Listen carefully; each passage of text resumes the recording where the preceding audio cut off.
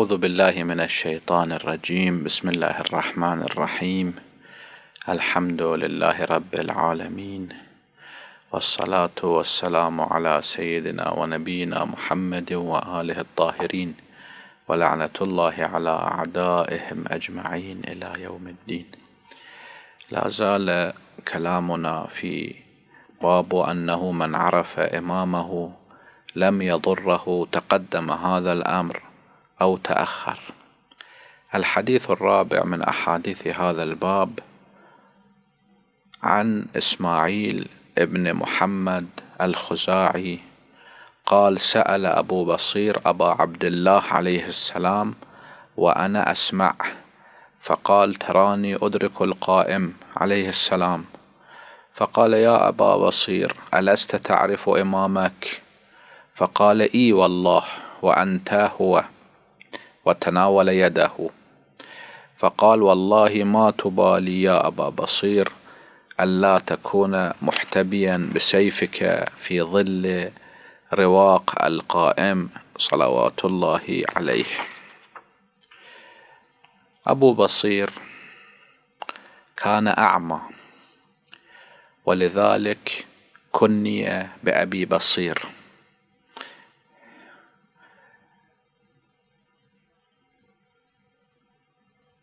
هذا سأل الإمام الصادق عليه الصلاة والسلام أنه هل أدرك أنا ظهور الإمام المهدي؟ الإمام الصادق عليه الصلاة والسلام لم يجبه بأنه تدرك أو لا تدرك. وإنما بين القاعدة العامة وهي وجوب معرفة الإمام. وأن الإنسان إذا عرف إمامه ثم مات قبل قيام القائم عجل الله تعالى فرجه الشريف لا يضره عدم إدراك الإمام القائم. آباؤنا الماضون رحمة الله تعالى عليهم. هؤلاء إن كانوا يعرفون الإمام وقد ماتوا فلم يدركوا زمن الظهور. هل ضرهم ذلك شيئا؟ الجواب كلا. لم يضرهم. لماذا؟ لأن عقيدتهم كانت سليمة وعملهم كان صحيحا. أما لم يدركوا الإمام المهدي فهذا كان خارجا عن اختيارهم مو باختيارهم. الله سبحانه وتعالى خلقهم في زمان هذا الزمان لم يقدر كونه زمن الظهور. طبعا إذا واحد يكون يدرك الإمام المهدي ويكون من معسكر الإمام المهدي ومن المقربين للإمام المهدي فهذه فضيلة عظيمة.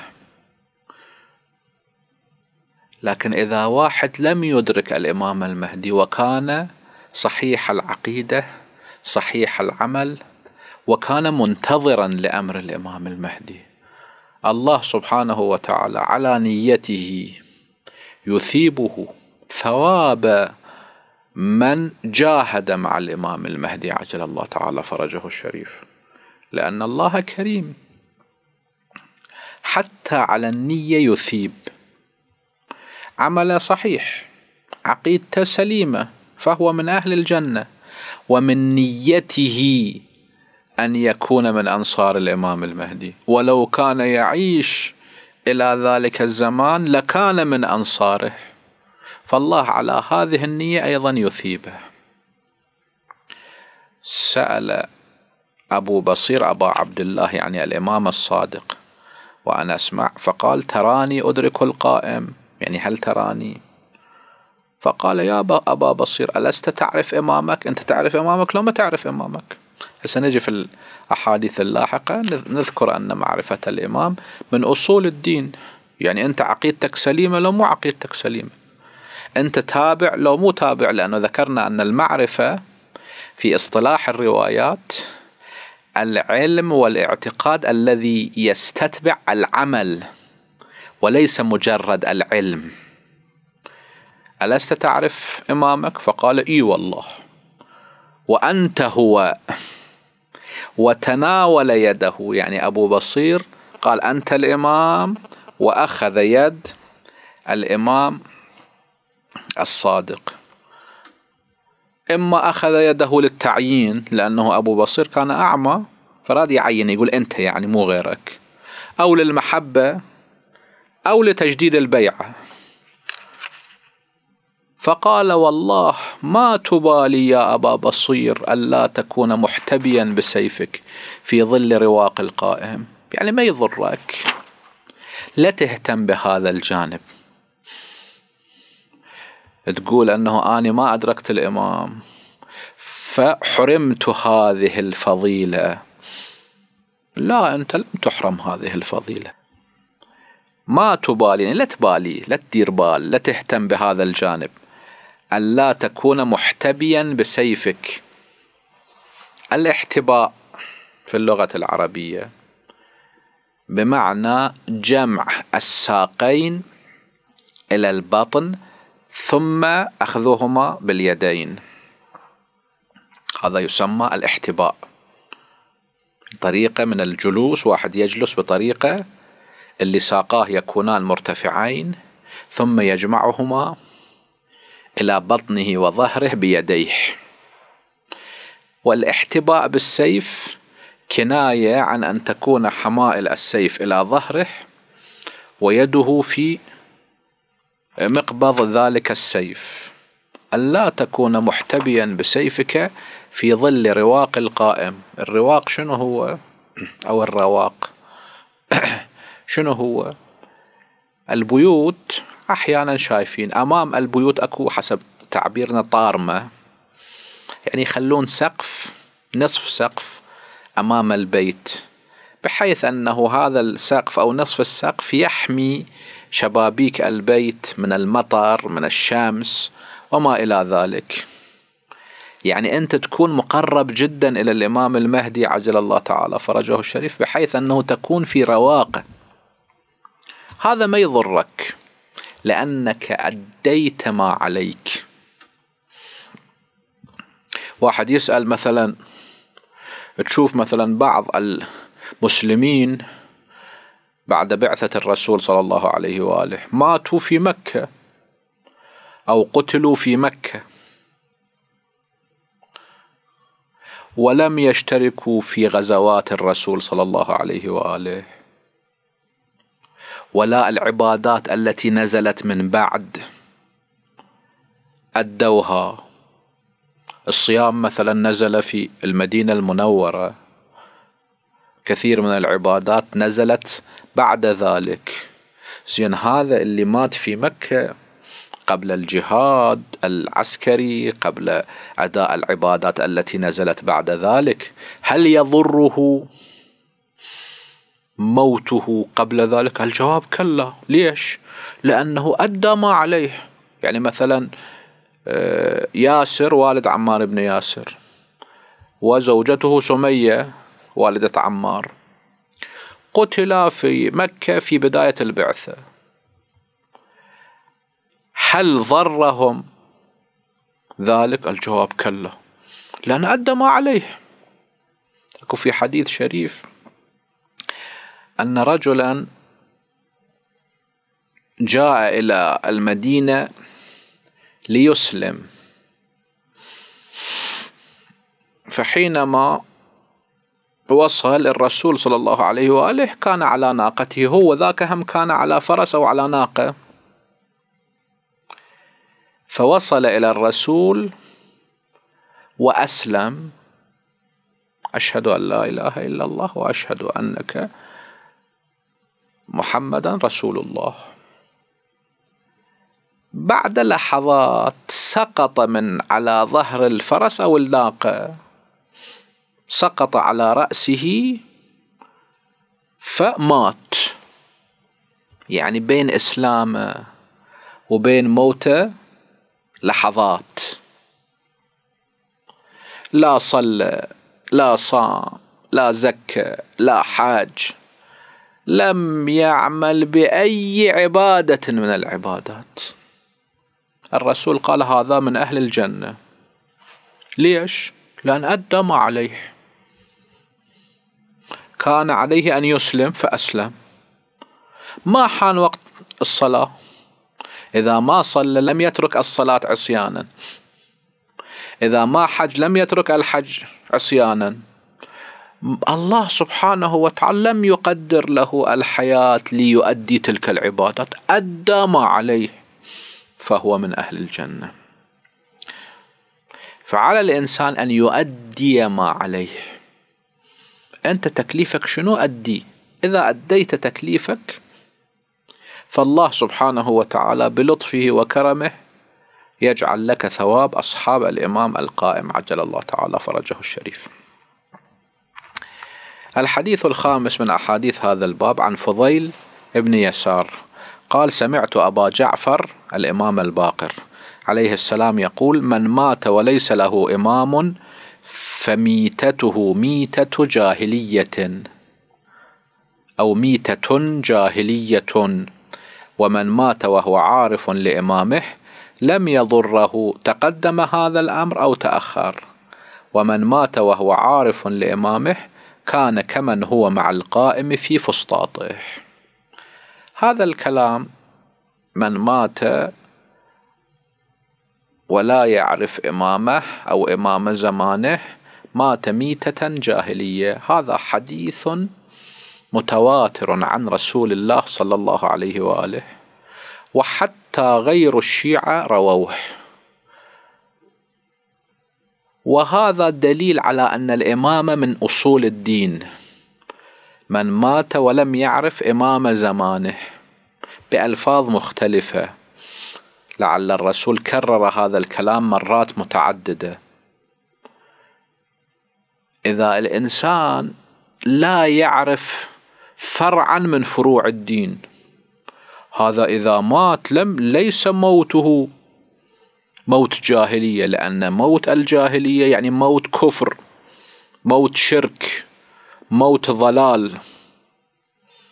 هسه إذا واحد لم يعلم بفرع من فروع الدين أفرض فد واحد في قرية نائية من المسلمين ما كان يدري أن الزكاة واجبة مثلا.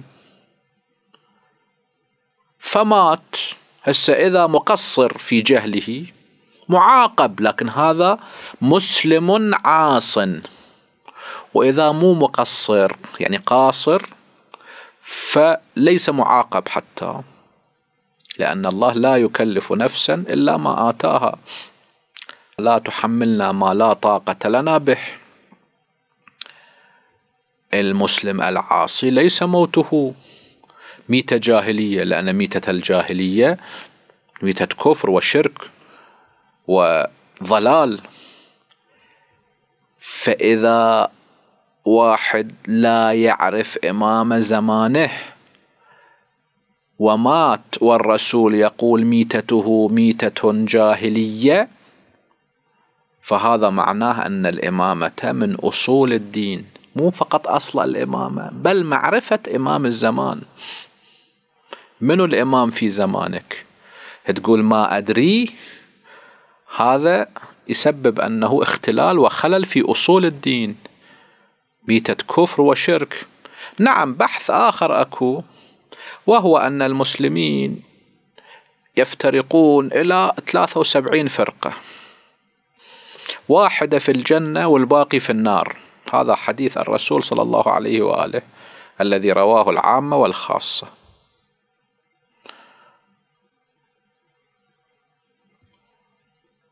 لكن في الدنيا من تشهد الشهادتين فحكم أنه يجري عليه أحكام الإسلام يعني جميع الفرق الإسلامية الذين يتشهدون الشهادتين يؤمنون بالله ويؤمنون بالرسول صلى الله عليه وآله ولا يكذبون الله والرسول.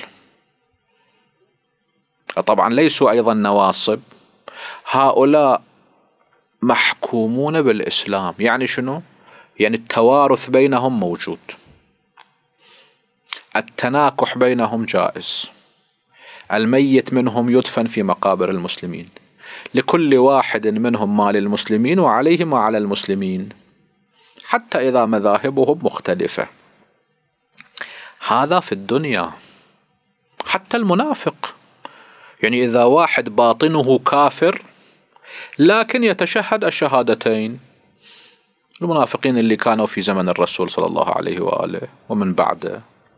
هذا أيضا يجري عليه أحكام الإسلام.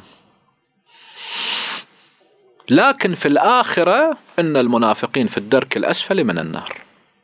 ليش؟ لأن المنافق باطنه كافر ظاهره مسلم فالله سبحانه وتعالى حسب ظاهره يعامله في الدنيا معاملة المسلمين. وحسب باطنه في الآخرة يتعامل معه يعامله معاملة الكفار. هذا الحديث شنو يقول؟ يقول إذا واحد ما يعرف إمام زمانه فهذا ميتته ميتة جاهلية. يعني باطنه كافر. هسه ظاهرة مسلم مو مشكلة. لا نكفر أحدا من المسلمين. لكن في يوم القيامة هذا يكون مثل المنافقين في النار. من مات وليس له إمام يعني لا توجد في عنقه بيعة لإمام. فميتته ميتة جاهلية أو ميتة جاهلية. عندنا إحنا ميتة وعندنا ميتة. خروف مات هذا ميتة. الآية الشريفة تقول حرمت عليكم الميتة والدم. أي حيوان لم يذك تذكية شرعية ومات فهو ميتة. لكن الميتة هذا يدل على الهيئة. مثل جلست جلسة العبد يعني كجلسته. هذه الهيئة. هيئة موته هيئة موت الجاهليين. زين هذا المات اللي ما يعرف إمام زمانه. ومن مات وهو عارف لإمامه تعرف إمامك. ذكرنا في الحلقة الماضية أو بعض الحلقات الماضية أن المعرفة في إصطلاح الروايات العلم الذي يستتبع العمل. مو واحد فقط يعرف ولا يلتزم. هذه ليست معرفة اصطلاحية. ومن مات وهو عارف لإمامه لم يضره تقدم هذا الأمر أو تأخر. ما إلى ضرر لأنه من أهل الجنة هو هذا. ومن مات وهو عارف لإمامه كان كمن هو مع القائم في فسطاطه.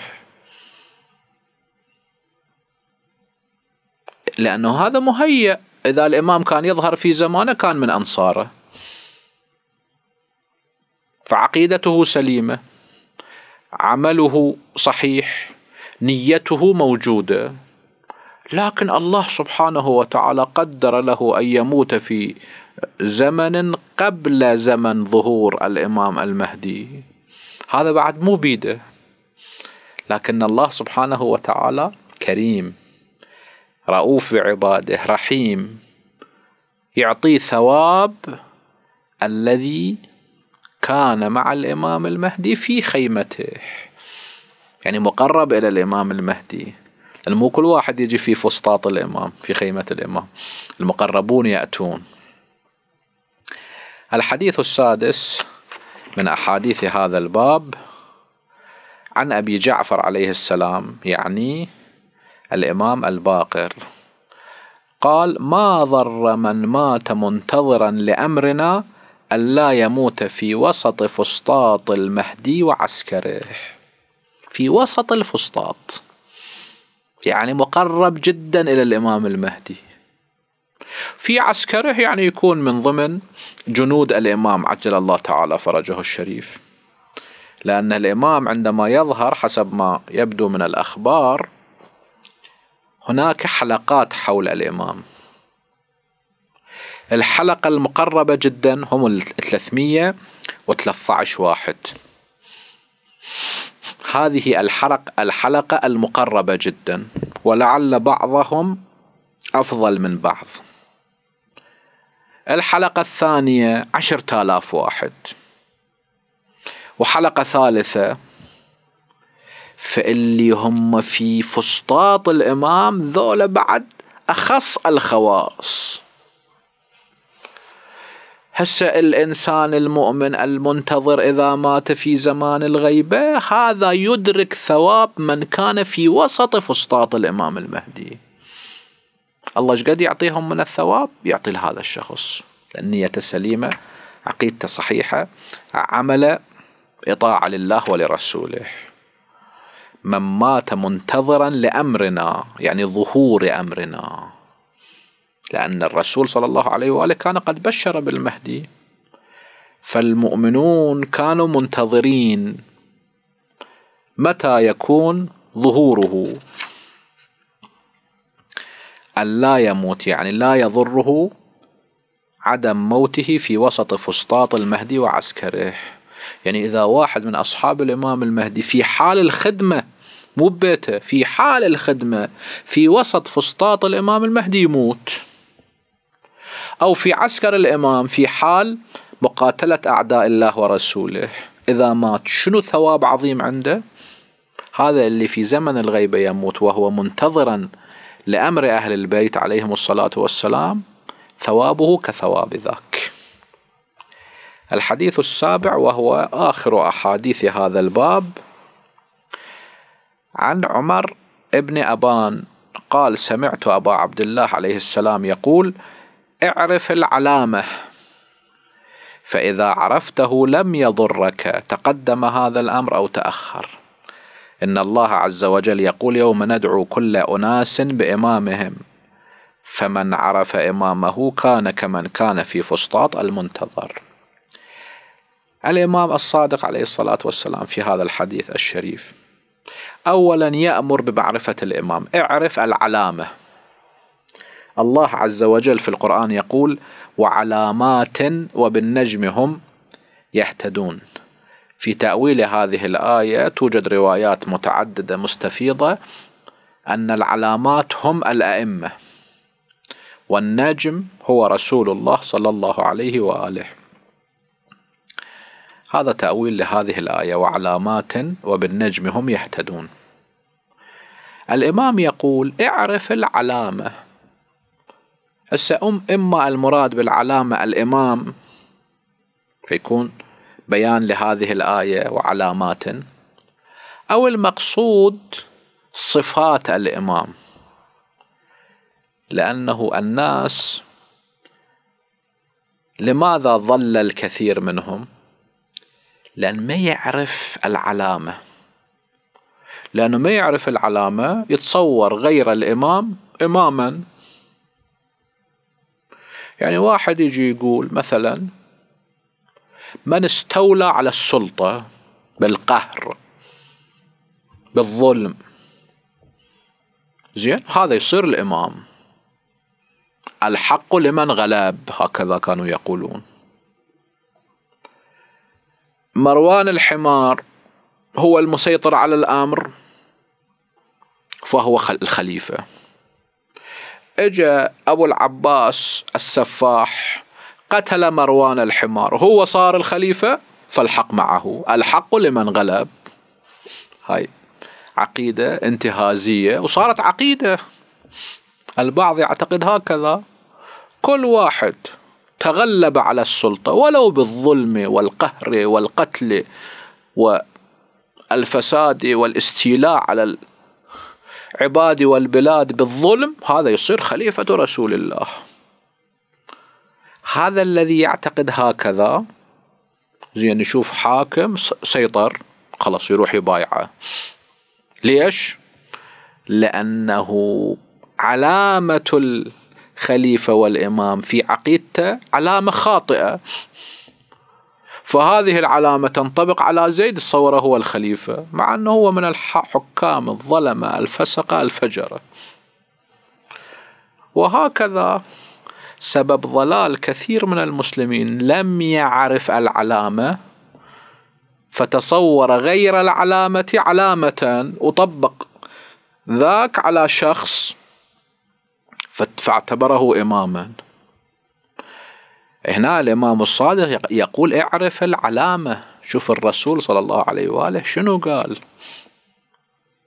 وعلى من تنطبق تلك العلامة؟ إذا عرفت العلامة بشكل صحيح راح تعرف تطبيق هذه العلامة على الشخص الذي أراده الله سبحانه وتعالى ليكون إماما. وليكون خليفة اعرف العلامة. فإذا عرفته يعني عرفت الشخص الذي تنطبق عليه العلامة أو عرفت نفس العلامة لم يضرك تقدم هذا الأمر أو تأخر. عقيدتك سليمة عملك صحيح. هسه أدركت أو لم تدرك هذا ما راح يضرك. لا في الدنيا ولا في الآخرة. أما في الدنيا فأنت على الصراط المستقيم. وأما في الآخرة فلأنك تكون مع ذلك الإمام الذي تعرفه. الآية الشريفة ماذا تقول؟ يوم ندعو كل أناس بإمامهم. منو إمام زمانك؟ أنت إذا كنت تعيش في زمن أمير المؤمنين علي عليه الصلاة والسلام. الله سبحانه وتعالى يدعو أمير المؤمنين عليا في يوم القيامة والذين كانوا في زمانه وكانوا يعتقدون به ويعرفونه يكونون خلفه إلى الجنة. واحد يعتقد بإمامة طاغوت هذا يدعى ذلك الطاغوت وجماعته يدعون خلفه إلى النار. حول فرعون الله سبحانه وتعالى يقول يقدم قومه يوم القيامة فأوردهم النار. أنت الآن في زمن الغيبة أنا في زمن الغيبة نحن في زمن الغيبة.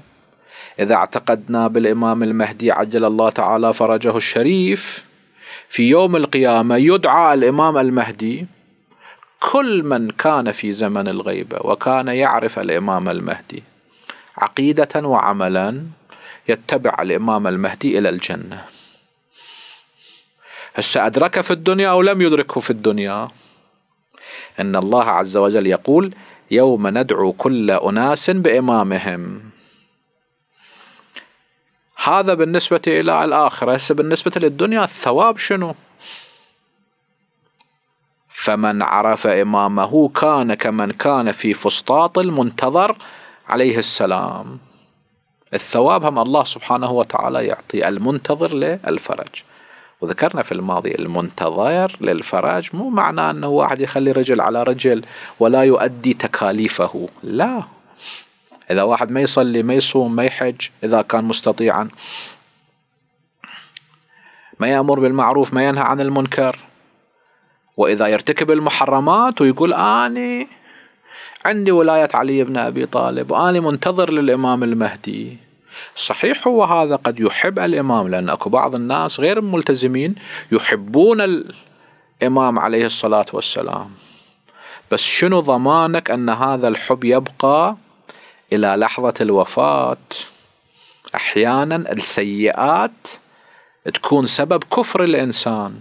ثم كان عاقبة الذين أساءوا السوء أن كذبوا بآيات الله وكانوا بها يستهزئون. وهل هذا إنسان منتظر حقيقي؟ لا لأنه ماذا يؤدي تكليفه. نعم إذا مات وهو معتقدا لكن غير ملتزم هذا مؤمن عاص عنده عصيان. لعله يناله العذاب بعد ذلك تناله الشفاعة أو المغفرة. إن الله لا يغفر أن يشرك به ويغفر ما دون ذلك لمن يشاء. فمن عرف إمامه كان كمن كان في فسطاط المنتظر. إذا معرفة عقيدة بعمل هذا ثواب أصحاب الإمام المهدي الله عز وجل يعطيه وفي الآخرة يكون تابع للإمام المهدي إلى الجنة. نسأل الله سبحانه وتعالى أن يهدينا جميعا إلى سواء السبيل هذا. وآخر دعوانا أن الحمد لله رب العالمين. وصلى الله على سيدنا ونبينا محمد وآله الطاهرين.